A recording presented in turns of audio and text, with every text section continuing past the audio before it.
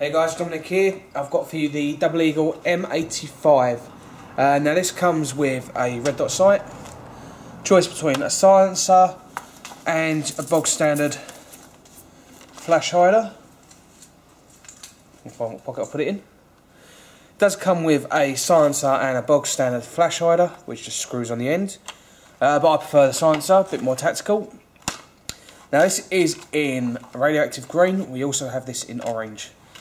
Uh, also also comes with the as I've already said the red dot, the torch.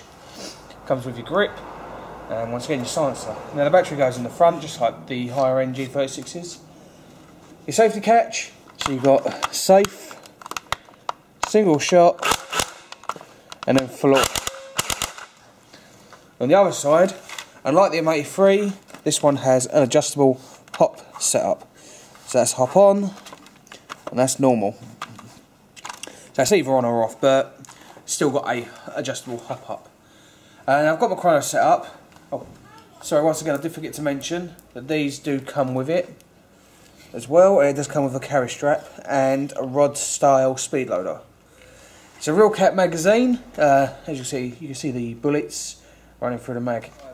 Making this gun quite good for the younger players, or for those just wanting to play indoors, or just plink targets. It is quite fun gun, especially with the red dot sight. And if you want something that's just for fun, go for this.